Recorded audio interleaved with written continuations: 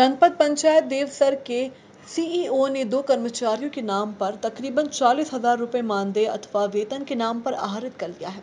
यह वेतन जनपद निधि से 16 जून को आहरित की गई है उक्त दोनों कर्मचारी कब से और कहाँ कार्यरत है? जनपद के कर्मचारियों का भी कोई अता पता नहीं है।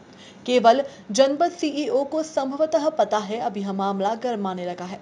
जिसकी जानकारी जिला पंचायत सीईओ ऋतुराज के यहाँ पहुँच गई है और उन्होंने उक्त मामले की खोज खबर लगाना भी शुरू कर दी है।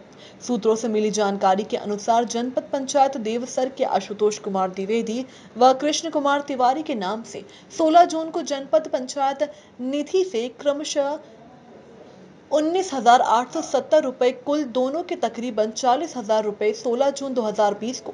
जनपद सीईओ के द्वारा मानदेय के रूप में स्टेट बैंक शाखा गोरबी के खाते में भुगतान किया गया है। चर्चाओं के अनुसार कृष्ण कुमार तिवारी एवं आशुतोष त्रिवेदी जनपद पंचायत में कब और किस पद पर तथा कहाँ पर कार्यरत है? उनसे कौन से काम लिए जा रहे थे, इसकी जानकारी करीब करीब यहाँ के किसी भी कर्मचारियों को पता नहीं है।